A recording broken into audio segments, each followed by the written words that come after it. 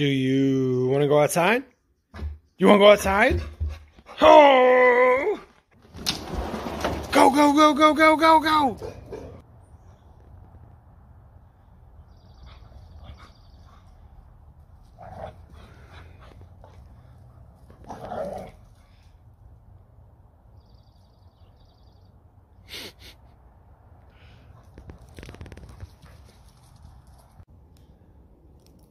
Poker for Pound Pups vlog 20? I think we're on vlog 20. We've been running really good lately. Uh, updates. Four colors are on the way. I don't think we'll have it ready for this vlog, but I think it'll be ready for either 21 or 22. So that's exciting. And um, I just want to keep playing my game. If I get a chance to play 3-5 and that's the only thing I can play, I'll play it. But otherwise, I don't want to mess with success. Let's see if we can keep that 1-3 streak going. Let's go play some cards. First hand of the session, ace jack offsuit from the hijack. I raise to 18 and get called by the small blind. King 9-8 with two diamonds. The board favors him. I don't have a ton of equity, so I'm going to go ahead and bet. If I take it down, great. If he check raises me, I can easily get out of the way. And if he happens to call, that gives me two free streets to improve. I make it 20, and the small blind puts in the call.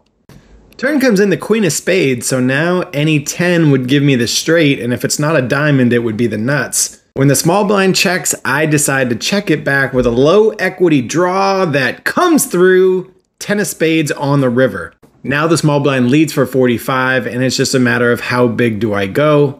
I settle on 145 and unfortunately get no action, but nice to river a straight, especially going runner runner to get there. King Jack offsuit from the hijack, under the gun raises to 10. This is a kid who's been pretty nervous, and based on his mannerisms, it's clear he hasn't played a lot of live poker. When he bumps it to 10, I make a rare call with King Jack offsuit, anticipating that I can make positive EV decisions after the flop. Unfortunately, this invites the big blind to call as well, so we're going three ways to a flop of King Queen 7 Rainbow. We've got top pair. It checks to the kid. He continues for 15. I make the call, and the big blind comes along as well. So I've got no idea where I stand. The turn comes in a six of hearts. The kid continues for 50. This is a little bit troubling, but I make the call, and the big blind folds. Rivers the four of clubs. Thankfully, he slows down with a check, and I check it back. Surprisingly, under the gun shows king nine suited, so we were ahead the whole way pretty, pretty lucky that all he had was a weak king. King deuce of spades from the low jack. Early position raises to 10, and I go ahead and make the call along with two others, and we get a solid flop of 10 4 3 with two spades. The initial raiser checks, I check, and it checks around, and we get there on the turn, the five of spades. Now the initial raiser bets. He makes it 50 to go, and I take a look at his stack, and he's got about 215 left. I don't think there's enough in the pot to justify shoving, I go ahead and bump it up to 115, and if he happens to shove, I'll of course call. It folds back around, and the initial raiser makes the call. Ace of Hearts comes in on the river. He checks. I think about it for a minute, and then I go all in. He actually thinks about it for a while. He really is getting pretty good pot odds here, as it's 150 for him to win a pot of 570. He thinks better of it though and folds, and we take it down.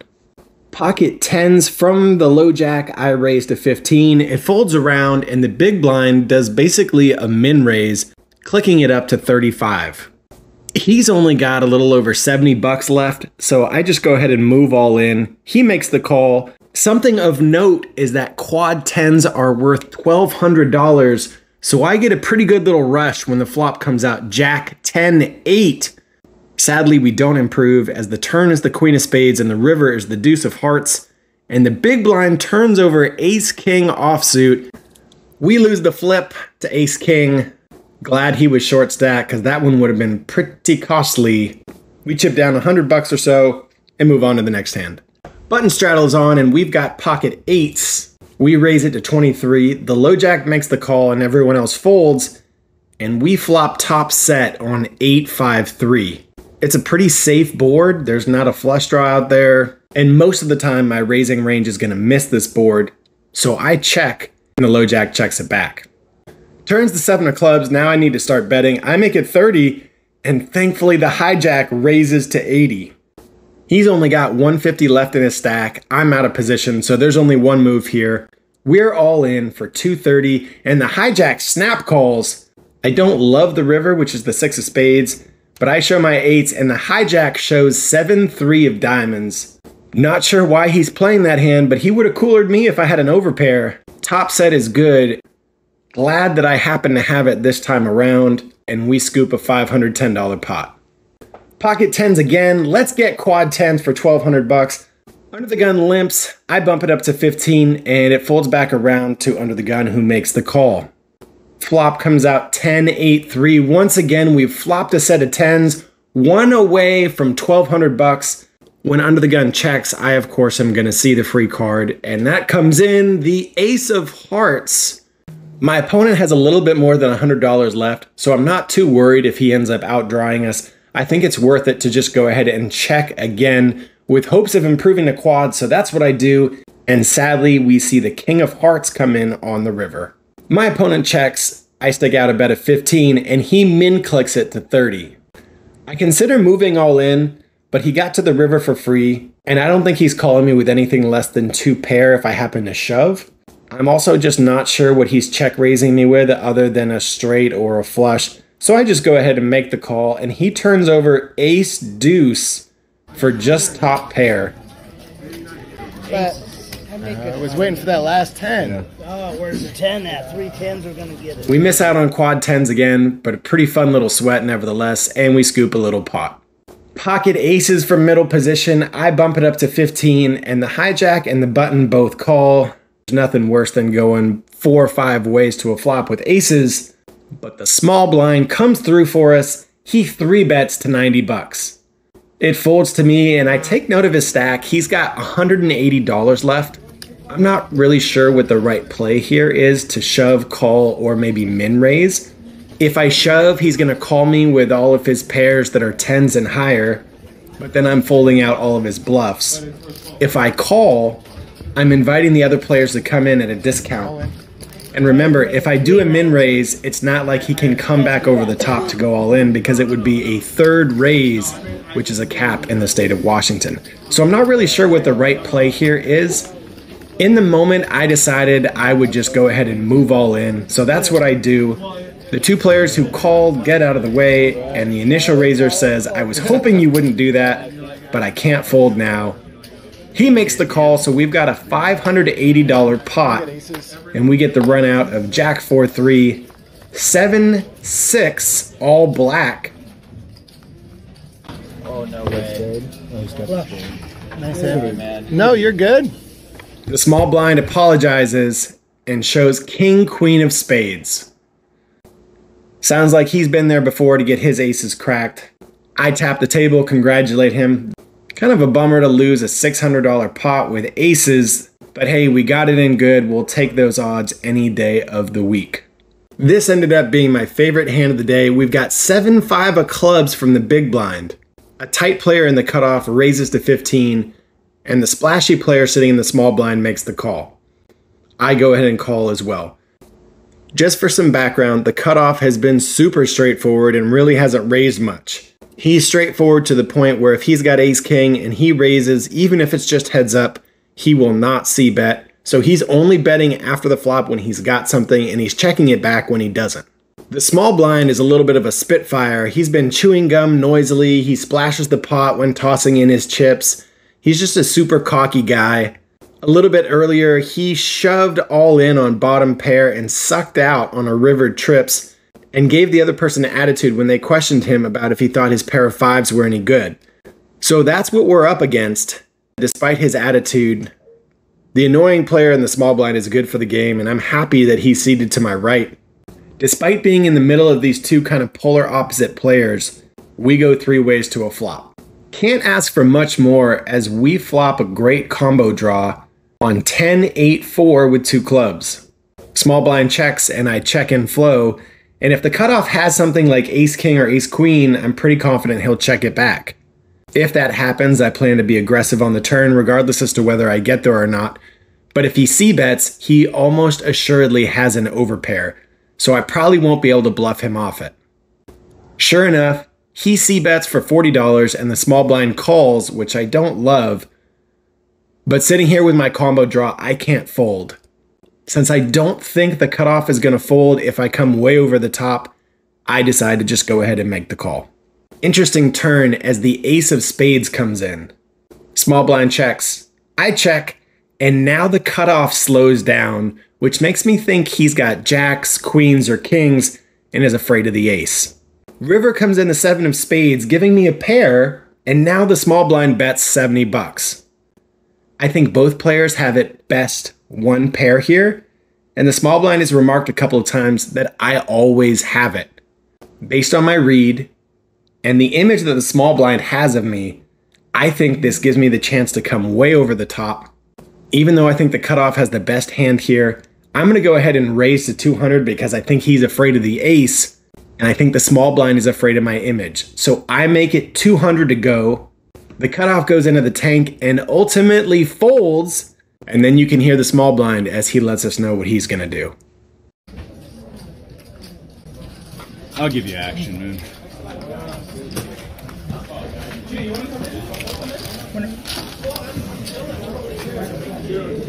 Was the pair good? Hmm? Pair was good? Was a pair good? Oh, I heard you. Oh, Oh, we're supposed to believe you had a pair there? I had a pair. Oh. Let me know in the comments is this a good play because I read my opponents well, or is this a crappy play because my line just doesn't make any sense and I happen to get away with it? Well, we lost with aces. Let's see how we can do with kings. Two people limp and I bump it up to 18.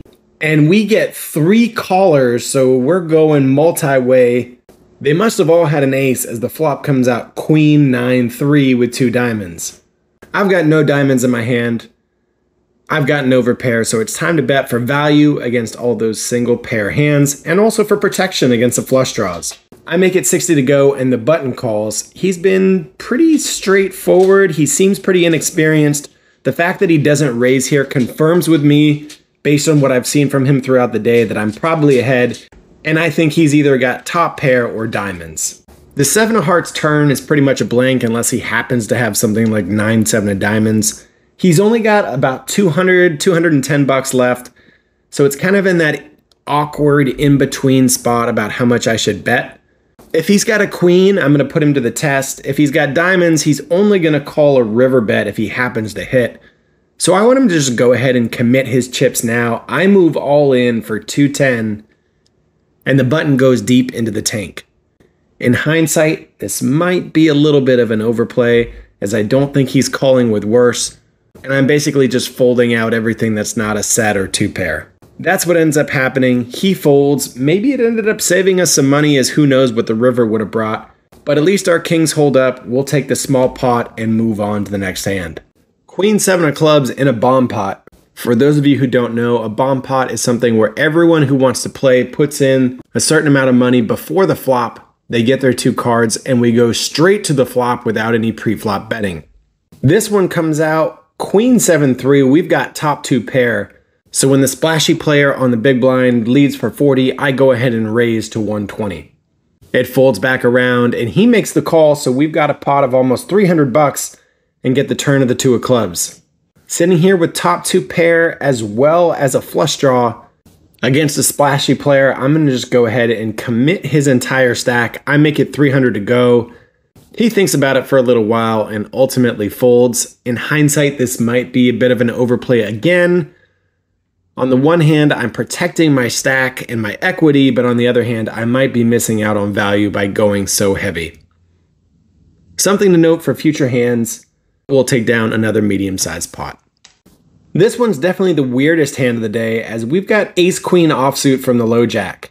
The splashy player in front of us makes it 15 to go and I 3-bet as I normally would to 45. Two players behind me make the call and then the splashy player decides it's time to go ahead and rip his entire stack in. He's only got 115. Under normal circumstances, I would probably raise again to go ahead and protect my equity. But in Washington, we're capped at three raises per street. So all I can do is either call or fold, and we're probably not in great shape as it's likely that at least one or two of the other players have an ace as well. That means that any of these hands that have like eights or nines are probably going to have a pretty sizable lead. Nevertheless, I'm not going to fold here for just another 60, 70 bucks. I make the call and the two players behind us call as well. So we've got 460 in the pot and we go to a disgusting flop of 10, 9, 6 all black. It checks around, which is probably a good sign, and we get the turn of the five of spades bringing in a second flush draw. Given how the hand is played out, I guess I could try and bluff just to go ahead and try and fold everyone else out, but I'm still going up against the initial raiser. I think it's probably a punt to do anything other than to check, and thankfully everyone else thinks the same thing. River comes in the seven of clubs, so now there's a flush draw there. There's some straights out there, and I just go ahead and wave the white flag. I check, and thankfully it checks around. Out of the corner of my eye, it looks like the tentative player was about to turn over Jack Jack, but then the splashy player throws down his cards and says, Ship it. At first glance, it looked like he had a flush, and then the other player mucked. But upon closer inspection, the splashy player had ace three offsuit and missed. So I show my ace queen and somehow it ends up being good. Maybe the other player had ace jack, I don't know, but I was almost sure he had pocket jacks. I'm not sure if we really had the best hand or not, but I will take it. $460 coming our way. Last hand of the night, and it's pocket jacks from the low jack. One person limps, and I bump it up to 16. The cutoff and the limper make the call, so we're three ways to a nice flop of 9 5 deuce. I bet for value and to protect my equity, I make it 40 and the cutoff makes the call. He's only got 50 bucks left, so when the turn comes in the four of hearts, I go ahead and move all in. He tanks for a minute, shrugs, and makes the call. The river comes in the king of hearts, and the cutoff shows king five of spades. He called me with second pair and ends up rivering two pair. Happy with how I played this one. Just got a bad river. That's poker. We're going to go ahead and rack up and book a win. Let's head to the recap. So to recap, last night I think we had some really good runouts. We had the straight, the flush. Uh, we won another bomb pot. So overall, a lot of good going our way. Finally, checking came through for us as we flopped a set of eights, and then our opponent, who was playing garbage 7-3, happened to turn two pairs. So I felted him on that one. Oh, we got it in good with aces and with jacks. It didn't go our way, so obviously it could have been even better than it was. But overall, we were still in for 500 and out for 1649, a profit of almost 1150. We are just running insanely hot since the start of the year at 1-3. We had a few more hands with audio tonight. Let me know in the comments if you like that or if it really doesn't make a difference. Uh, like I said at the beginning of the video, four colors are in production. Obviously wasn't ready for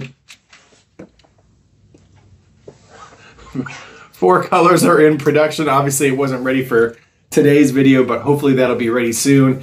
And then we'll be going to Portland in a few weeks to check out their poker scene and just the area in general. so, so I think that's all I got for today. Uh, if you like the video, hit like, uh, subscribe, share the video with a friend. Until next time, this is Wes for Poker for Pound Pup signing off. Have a good one. Hey everybody, subscribe here to catch the latest episodes. Also, hit that like button and share these videos with anyone who might enjoy them. Doing that really helps the channel and its goal to support dog shelters, so thanks for watching Poker for Pound Pups, and have a great day.